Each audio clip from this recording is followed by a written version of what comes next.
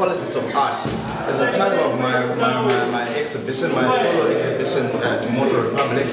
And this exhibition came about from my quest to come to an understanding of the politics that surrounds and affects artists and artists of all genres. But in my, in my, in my case, it was mostly focused on, on fine art and how uh, the various politics affects an art an artist and how he how he he expresses himself. So creativism means that it's a way of life, and that way of life is a is a, is a process of how an artist constantly lives and tries to be creative, aspires to be creative. All the solutions that it provides are creative solutions.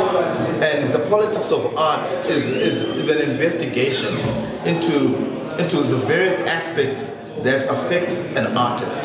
And these aspects are, are broad. They could come from bread and butter issues to issues of uh, life to life and death issues.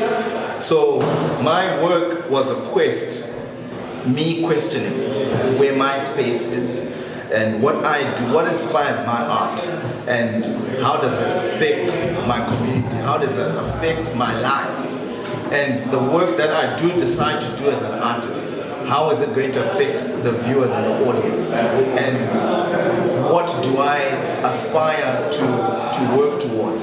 So most of my work um, was was was a, was a large spectrum. There's work that's aesthetic, like like the one I've got here. Is a portrait, is a self-portrait, is a portrait of my son, and it's called Kura Warning, which means that it's a Shona saying that uh, some things you're only going to understand when you grow older.